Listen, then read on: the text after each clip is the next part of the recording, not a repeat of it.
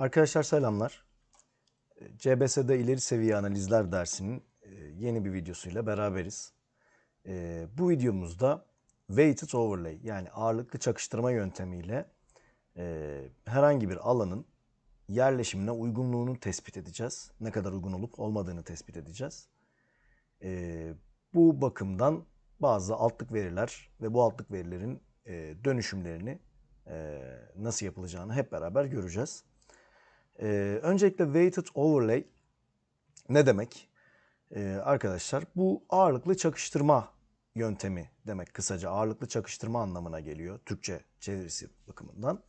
Yani bizim elimizde bulunan e, bazı parametreler ve bu parametrelerin e, işte hangi analizi yapacaksak mesela yerleşime uygunluk analizi yapacaksak yerleşime uygunluk analizi yapılacağı zaman e, kullanılacak olan parametreler ve bu parametrelerin ne kadar, ne ölçüde, hangi çarpan katsayısında e, yerleşime etki et- ettiğini e, bilerek, bunu düşünerek e, yapılan bir e, çalışma arkadaşlar, bir analiz. Bu etki değerlerini ortaya koyduktan sonra bizim verdiğimiz değerlere göre yazılımın hesapladığı bazı kullanım alanlarından oluşuyor. Şimdi bunu yapabilmek için önce elimizde e, raster verilerimizin olması gerekiyor. Nedir bu raster veriler? İşte bizim burada elimizde olan veriler arazi kullanımı, e, eğim ve yükselti, dem gibi veriler var. Ayrıca bakın burada bulunan yollar ki bu şu anda vektör veri formatında, parklar, okullar gibi vektör verilerimiz de bulunuyor. Şimdi biz öncelikle bunların hangi özellikleri bakımından yerleşmeye etki ettiğini tespit edeceğiz ve ne kadar etki edeceğini tespit edeceğiz. Daha sonra da arkadaşlar bunların e, değişimlerini e, hesaplatıp bunların etki derecelerini hesaplatıp yerleşim uygunluk haritası oluşturacağız. Şimdi bunu yapabilmek için öncelikle e, şöyle hatta daha belirgin olması için bakın okulumuza Şöyle okul işareti verelim. Öncelikle nerede olduklarını görelim bir. E, parklarımıza park işareti verelim. Şöyle simgelerini değiştirelim. Yollarımızı da şöyle siyah ana yol şeklinde gösterebiliriz. E, şimdi burada yapmamız gereken işlemlerden ilki e, şudur. Şimdi burada tabii arazi kullanımı bakın e, şöyle göstereyim size. Zaten raster bir şekilde önceden hazırlanmış. Neden önceden hazırlanmış? Tabii bunu da tek tek yapmam gerekiyor normalde. Ama bunu yapmak biraz uzun sürüyor. Hem burada e, bütün arazi kullanımını tek tek ayırmak gerekiyor. E, ve bunları daha sonra da sayısallaştırmak gerekiyor. Ben bununla uğraşmayacağım. Bunu hazır olarak kullanacağım. Ama geri kalanların hepsinin nasıl hazırlandığını size göstereceğim. Ee, sadece burada arazi kullanımını hazır olarak e, elde ettik. Çünkü dediğim gibi bunu yapması e, videomuzun e, içeriğinden sapmasına ve bayağı bir uzamasına neden olacak arkadaşlar. Ama bu hiç yapılı değilse yapmamız gereken şey şu. Önce vektörel anlamda e, her bir kullanım alanını çizmek. Daha sonra da bunu sayısal bir veri haline getirmek. Yeniden sınıflandırarak sayısal bir veri haline getirmek. Birinci yapacağımız bu. İkinci yapacağımız hemen eğim. Şimdi arkadaşlar eğim ne şekilde etkiler? Ee, bizim çalışma alanımızda yerleşmelerin e, dağılışını. Ee, eğer bir yerde çok fazla eğim varsa orada yerleşmeye uygunluk azalır. Ee, eğim değeri azaldıkça da yerleşmeye uygunluk artar. O yüzden ben ne yapmam lazım? Bakın benim sıfır eğimden 74,5 derecelik eğime kadar e, arazimde eğimim değişiyormuş. Ben öncelikle bir reclassification yani yeniden sınıflandırma yaparak e, arazimdeki eğim değerlerini bir ortaya koyacağım. Şimdi bunun için ilk olarak Arc Toolbox'ı çalıştırıyorum. Şöyle hemen büyütecimizi de açalım. Bakın Arc Toolbox'ta hatırlarsanız önceki derslerimizden 3D Analyze, Raster Reclass ve Reclassify aracını çalıştırıyoruz. Şimdi bu bizim yeniden sınıflandırma yapmamıza yarayan araç. Ee, benim burada hani 0 ile 74 derece arasında eğim derecelerim vardı ama bunların bir gruplandırılmış hali yok. Bunlar piksel piksel halde. Ben bunu şimdi gruplandırıp sınıflı hale getireceğim. Bu yüzden eğimi input raster'a seçiyorum. Bakın kendisi otomatik olarak sınıflandırıyor ve 8 tane sınıf oluşturuyor. Şöyle Classify'e basıyorum ve buradan sınıf sayısını değiştirebiliyorum. Mesela biz 5 sınıf yapalım. Dağılışlarını da arkadaşlar bakın e, manuel olarak kendimiz yapabiliriz. Equal dediğimiz eşit şekilde benim işte 0'dan 74'e kadar olan eğimimi e, eşit bir şekilde bölebilir. Bakın yaklaşık %15'lik bir eğim oluyor. E, defining interval dediğimiz ya da işte quantile dediğimiz, natural breaks dediğimiz, işte geometrik interval ya da standart sapma dediğimiz yöntemler de var. Bunlar çeşitli formülizasyonlar. E, biz bunların uygun olanı hangisi bize uygunsa onu kullanacağız. Ben şöyle tabii önce natural breaks'i seçeceğim ki şu klası bir belirleyebileyim. 5 yaptım. Daha sonra da şöyle manuel diyelim. Bakın kendimiz şuradan sağdan 15, 30, 45, 60 ve en son tabii 74.5 var. Onu değiştiremiyorum. Yani değiştirmemin bir anlamı yok daha doğrusu. Ee, kendim de ayırabiliyorum. Ben şöyle 15'er derecelik açılarla yapayım. Bunu neden yapıyorum? Birazdan e, ağırlıklı çakıştırma yaptığımda şunu söylemek için yapıyorum. 0-15 derece eğimi olan yerler benim için en uygun yerler. 60-74 arası olan yerlerde en az uygun olan yerler. Ee, bunu bir sonraki aşamada seçeceğiz. O yüzden şimdilik sınıflandırmasını yapıyorum. OK diyorum. Buradan bana bir output raster çıktı yeri istiyor. Ben e, burada tabii şimdi Spatial Analyze'ın içerisinde çalışıyorum. Konu bütünlüğü olsun diye aynı yere kaydedeyim. E, şöyle ne diyelim? Eğim alt tire R. Reclassification yaptığımızı belirten şey. Save diyorum. E bir de arkadaşlar çalışma alanı environments belirleyebilirim. Bakın benim çalışma alanım processing, processing extent'e gelirsem e, bu sınıflandırmayı nerede yapacağımı seçebiliyorum. Zaten SYM benim şu çalışma alanımın tamamını kapladığı için burada esasında bir processing extent, extent tanımlamama gerek yok. Çünkü zaten tüm alanımı kaplıyor bu. O yüzden buna herhangi bir şey girmeme gerek yok şu anda. Ve OK diyorum. OK dediğimde arkadaşlar arazimi, eğimini şöyle açayım. Şu eğim değerlerimi yeniden sınıflandıracak ve 5 sınıf halinde bana verecek. Evet tamamlandı. Bakın artık 5 tane sınıfım var. Attribute Tools'una giriyorum. Bakın count dediği piksel sayısı e, hangi eğim değerinde yani şu 1 bizim 0.15'e denk geliyordu. 0.15 derecede işte 135.341 tane piksel varmış. E, 15.30 bakın 187.000 ki en geniş alanı bu kaplıyor piksel sayısına bakarsak diye gidiyor arkadaşlar. Şöyle clear diyelim. Devam edelim. Şimdi eğimi klasifike ettiğime göre artık şuradaki eğim e, raster'ımı kaldırabilirim. Bana çünkü sınıflandırılmış hali lazım. Bir ikinci e, arkadaşlar durumda ise benim yükseltim var. Şimdi yükselti de biliyorsunuz ki yerleşimi etki eden faktörlerden bir tanesi. Hemen şurada input raster'ıma yine reclassification'ı açacağım. SYM'mi yani dem verimi ekliyorum. Sınıf olarak gene şimdi az öncekini 5 seçtik. Bunu da 5 seçelim. E, farklı da yapabiliriz tabii bu fark etmez. Bakın dağılımını da eşit aralık diyelim. Yani 0'dan 1218'e en uygun yer olsun. Sonra 1915 ikinci uygun, 2700'e kadar üçüncü uygun diye gitsin. Ve şurada da bakın görebiliyoruz. OK diyelim. İstersem sağ taraftan gene bakın şu sağ taraftan manuel 0, 1000, 2000, 3000, 4000 diye de verebilirim. Bana kalmış tamamen. Çıktı yerimi de gene SYM alt tire R diyelim. Ve tamam diyelim arkadaşlar. Şöyle bakın SYM evet bu da geldi. Ne oldu burada? Bakın benim 0 ile 1200 arasında olan yerlerim en çok alan kaplayan yerlerim.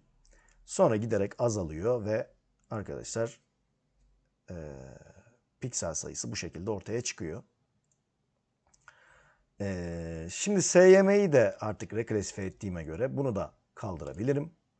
Arazi kullanımı zaten dediğim gibi önceden yapılmıştı. Bu da tamam. Geriye ne kalıyor? Okullar, parklar ve yollar.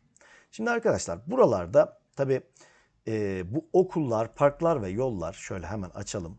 Bakın gördüğünüz gibi okullar bir point dosyası e, yani bir vektör veri. Gene parklar bir point dosyası vektör veri arkadaşlar ve yollarda bir line e, dosyası şeklinde bir vektör veri. Şimdi bunların içerisinde fark ederseniz bir e, şey yok. Yani sayısal bir veri yok. Şimdi diğerlerinde yapmıştık ama burada herhangi bir sayısallaştırma yapmadık. Önce bunları bir sayısallaştırmamız gerekiyor. Şimdi mesela okullar. Ben okulların yakın olmasının, okullara yakın olan yerlerin yerleşmeye daha uygun olduğunu düşünüyorum doğal olarak. Coğrafya bilgimden dolayı. Ya da parkların yakın olduğu yerlerin yerleşmeye uygun olduğunu biliyorum. Ya da gene yolların, ana yollara yakın olan yerlerin yerleşmeye uygun olduğunu biliyorum. Şimdi bu bakımdan benim ne yapmam lazım? Birer e, sınıflandırma yapmam lazım ve bunların uzaklıklarını bir arkadaşlar bilmem lazım. Şimdi yani bunlara uzaklıklarına uygun bir analiz yapmam lazım. Ee, burada arkadaşlar şöyle hemen bakın yerini unuttuysanız search'e giriyorsunuz.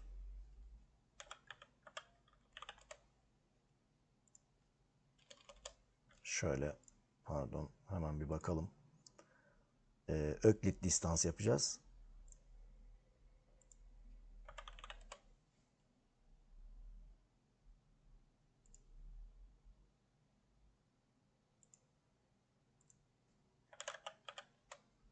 Euclidean distance. Evet bakın Spatial Analyze'da neredeymiş? Şöyle yerini görelim. Spatial Analyze, Tools, Distance ve Euclid Distance. Bu benim bu araç arkadaşlar. Şöyle hemen şu search'ü kapatalım. Şuradan açalım tekrardan. Spatial Analyze, Distance ve Euclid Distance. Bu araç benim özel bir formülizasyonla Euclid formülizasyonuyla e, seçtiğim vektör verinin uzaklıklarını otomatik olarak belirliyor.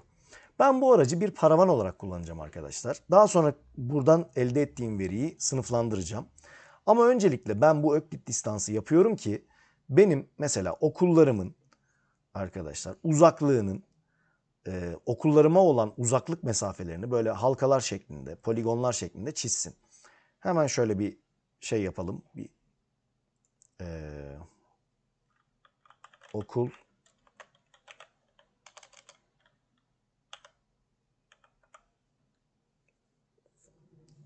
ök diyelim. Şöyle kısaltılmış şekilde çıktı yerimizi belirleyelim. Bakın ben burada şimdi bu okulların çevresinde yapar eğer bu şekilde e, yaparsam. O yüzden environments kısmında bir çalışma alanı belirlemem lazım. Processing Extent'e geliyorum ve en geniş alan kaplayan yerler mesela SYM çalışma alanımın tamamını kaplıyor. Onlardan bir tanesini seçiyorum. Mesela SYM göre yap diyorum. Çalışma alanını. Buna göre genişlet diyorum yani. Ve OK'ye tıklıyorum arkadaşlar. Şimdi Öklit distans aracı bakın benim çalışma alanıma göre ne yaptı? Kendisi bir formülizasyon dairinde okuluma en yakın yerleri bakın en açık sarıdan kırmızıya doğru giden şekilde halkalar içerisine aldı. Şimdi ben direkt bunu da kullanabilirim. Buradan Öklit distanstan elde ettiğim veriyi de kullanabilirim. Ya da bu öklit distanstan elde ettiğim veriyi az önceki gibi reklasife ederek yeni bir arkadaşlar veri elde edebilirim. E, ben diğerlerine uyumlu olsun diye 5 ayrı sınıfa ayırmak istediğim için bunu da yeniden sınıflandırmak istiyorum. Bakın dağılışı da eşit yapmayalım bu sefer. Şöyle ne kadarmış? 16 bin metreye kadarmış. 3 bin metreden 16 bin metreye. Aslında eşit de olabilir. Evet eşit dağılsın. Yani 0-3 bin metre arası okula en yakın olan yerler en uygun yerler. İşte 13 bin ile 16 bin olan aralarda aralıkta e, en uygun olmayan yerler olsun. Tamam diyelim. 5 sınıf olsun. Çıktı yerini okul alt R diye belirtelim ve save diyelim. Ve tamam diyelim. Bakın okulumun uzaklıklarını ne yaptı? 5 tane sınıf halinde arkadaşlar şöyle bakın okuluma olan uzaklıkları 5 sınıf halinde göstermiş oldum. Bunu farklı bir yani şurada artık öklit distansla da işim bittiği için onu da kapatabilirim. E, çünkü reclassification'ım var. Okulları şuradan kapatmıyorum görünsün diye, gö, görselle görebileyim diye kapatmıyorum şimdilik kalsın. Ee, burada arkadaşlar başka buffer analizler de yapabiliriz. Hani bufferları önce oluşturup daha sonra bufferları sayısallaştırabiliriz. Bu şekilde de olabilir. Ama ben öklit distans aracıyla daha kolay bir şekilde de gerçekleştirebilirim bu işlemi. Ee, bakın şöyle identify dediğimde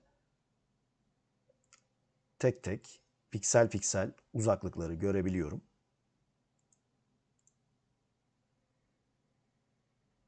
Arkadaşlar. Peki. Şimdi okulları okulu da reklasife ettik. Bakın işte ne demiştik? 0 ile 3000 arası 3000 küsür arası işte şu kadar piksel oluşturuyormuş.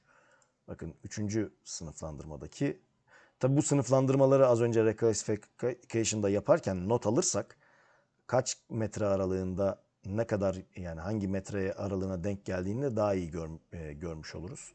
Bunları da mutlaka not almamız gerekiyor. Ben şu anda hızlı bir işlem yapmak için not almadım. Normalde not almamız gerekiyor. Şimdi aynı işlemi parklara ve yollara da yapıyorum. Bakın öklit distansa geliyorum önce. Hemen parkları ekliyorum. Şöyle e, çıktı yerine park alt e, ök yazıyorum ve environments'tan arkadaşlar alanımı SYM gibi genişletiyorum. Parklar tamam. Sonra bunu reklasife ediyorum. Parklar Öklit. E, classification'dan hemen 5 sınıf. Burada da gene aynı şekilde eşit dağılım olsun. Arkadaşlar okey diyeyim. Şöyle şuradan da park alt tire e, R diyelim. Tamam diyelim. Bakın parklarımın da uzaklık analizi yapıldı. Öklit'i kapatıyorum. Sonra yollar içinde aynı öklit distance'ı yapıyoruz. Ee, yol pardon parkı seçtik. Yollar e, çıktı adı yol alt tire öklit ve environments'ta gene arkadaşlar SYM ve OK diyorum. Tamam diyoruz.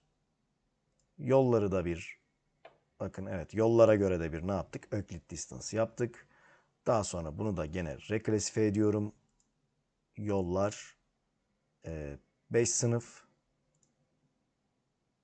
ve Gene eşit dağılım olsun. Bozmayalım. Şuraya da yol alt R diye kaydedelim ve tamam diyelim. Evet. Sonra yol ökliti de kapatabiliriz. Evet bütün arkadaşlar sınıflandırmalarımı yaptım. Bakın hangi veriyi kullanacaksam hepsini ben burada sayısal hale getirdim. Artık yol, park, okul, yükseklik, eğim ve arazi kullanımı verilerim. Tamam. Şimdi bunları gelip son işlem olarak ne yapmam lazım? Arkadaşlar benim e, weighted overlay ağırlıklı çakıştırma aracını kullanarak e, bunları belirlemem lazım. Şimdi burada arkadaşlar hemen şöyle bakıyoruz. Da değil. Overlay'de Weighted Overlay aracı. Gene Spatial Analyze Tools'un içerisinde. Ee, evet. Bakın buraya bütün az önce sayısallaştırdığım verilerin hepsini ekliyorum. Yolu ekliyorum mesela sıradan. Ee, parkları ekliyorum. Okulu ekliyorum. Altta da input kısmında, input file kısmında da hani sayı içeren kısmı seçmem lazım e, pardon yani hani sınıf içeren kısmı seçmem lazım. Value'daydı hani 1, 2, 3, 4, 5 diye geçiyordu. SYM'yi ekliyorum. Evet. Count'u seçmiyorum çünkü count piksel sayısı arkadaşlar. Aimre'yi ekliyorum. Gerçi aynı şeye varır. Gene 5 tane şey olduğu için. Arazi. Bakın burada da daha rahat görmek için land use kısmını seçersem arazi kullanım durumlarını bakın şurada kullanım durumuna göre göstermiş olurum. İşimi kolaylaştırır. Şimdi arkadaşlar e, burada e, birkaç tane bölüm var. E, doldurmamız gereken önemli iki tane bölüm var. Bunlardan birincisi influence dediğimiz yüzde olarak etki. Yani yüzde ne kadar etkileyecek? Hangi birim yüzde ne kadar etkileyecek? Bunu seçmem lazım. Bu en önemli bölüm. Yani mesela yollar benim yerleşme analizimde yüzde ne kadar etkili? Burada şimdilik ben tabi kabaca yapacağım. Yüzde on diyeceğim. Parklar ne kadar etkili? Yüzde on beş olsun. Okullar yüzde on beş olsun. Hatta şu da yüzde on beş olsa bakalım kaç tane kalıyor diğerlerine. Hatta şöyle gelelim arkadaşlar bakın arazi kullanımı bence en önemlisi. Bunu 25 diyelim. Değil mi? Eğime %10 diyelim. 35 oldu. Toplamda 100'ü bulmamız lazım. Ee, ve bakın geri kalanında SYM olsun %20 diyelim. Şu anda 100'ü tamamladık. Evet. Bakın ne yaptık yani? Yollar %15 etkili. Parklar %15. Okullar %15.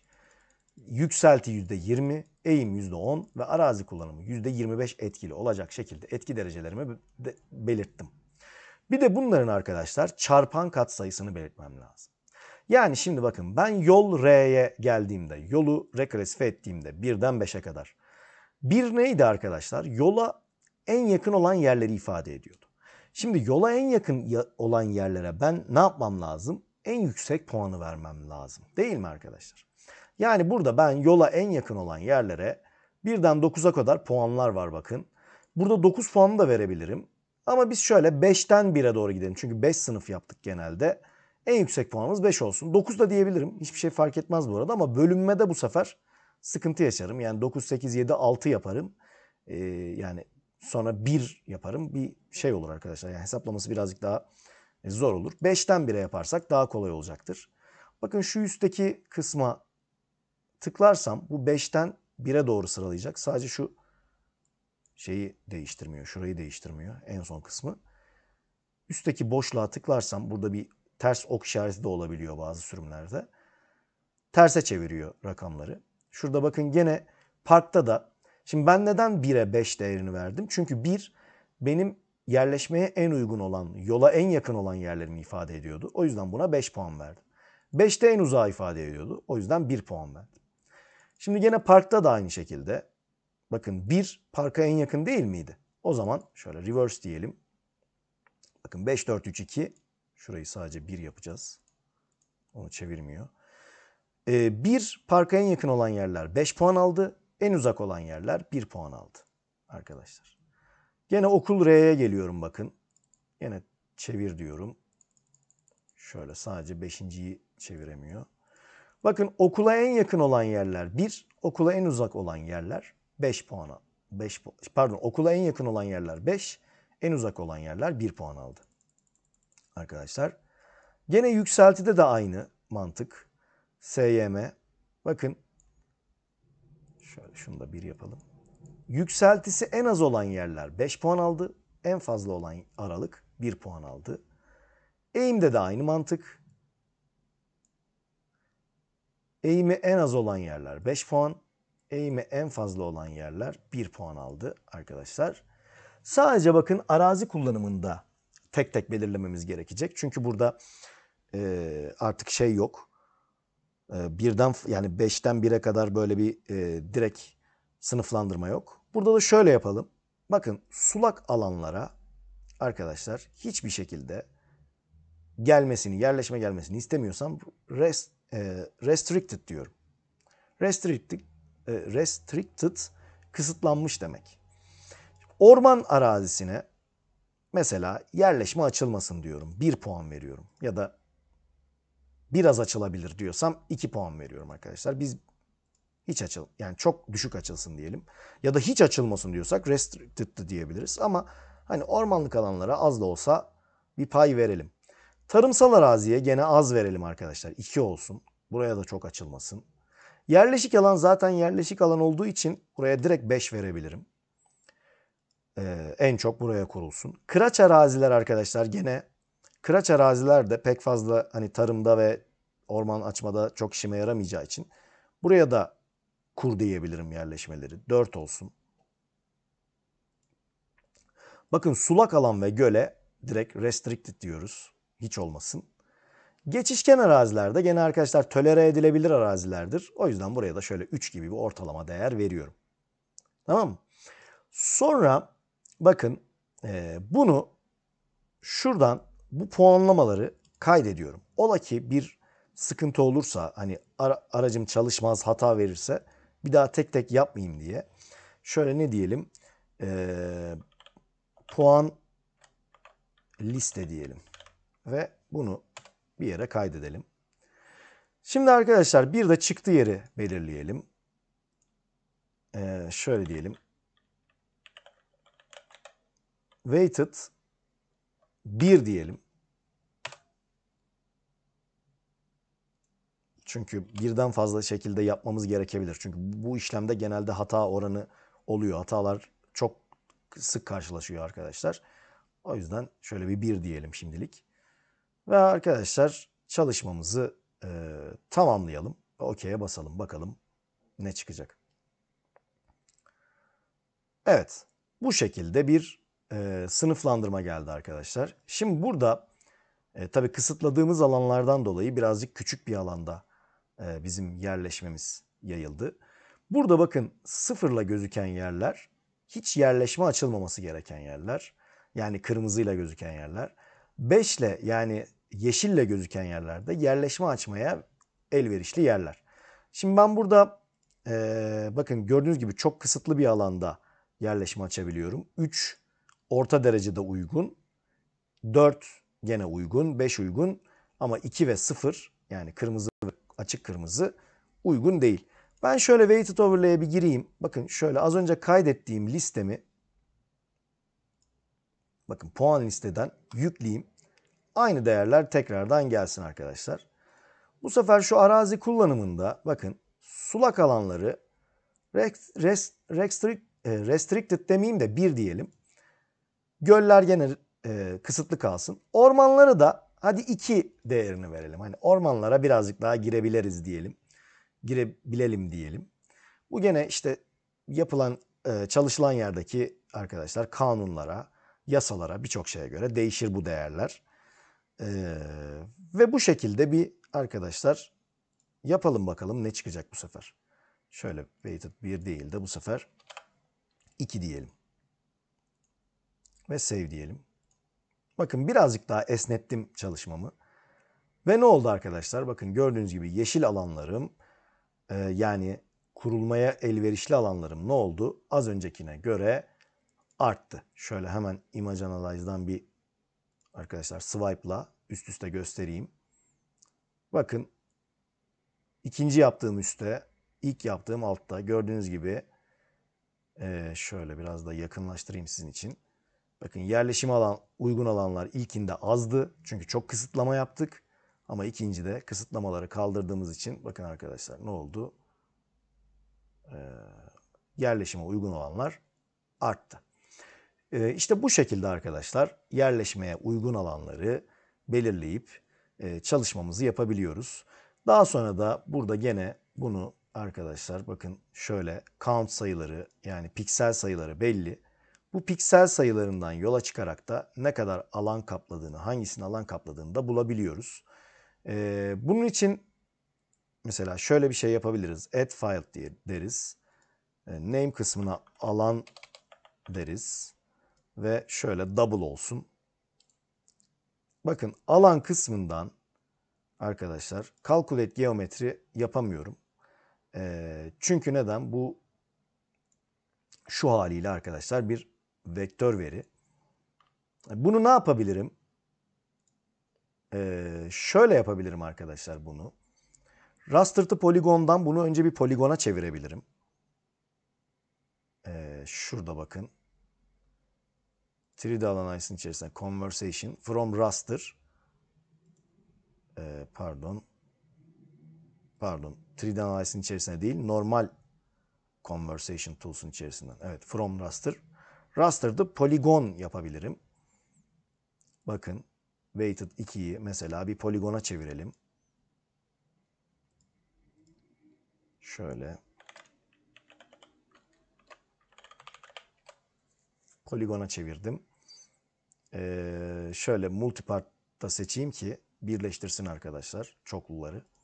Yani teklileri çoklu hale getirsin ve birleştirsin. Bakın şöyle bir şey çıkıyor ortaya. Evet. Buradan arkadaşlar poligon haline getirdiğim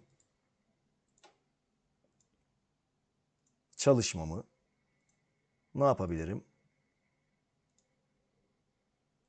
Şöyle e,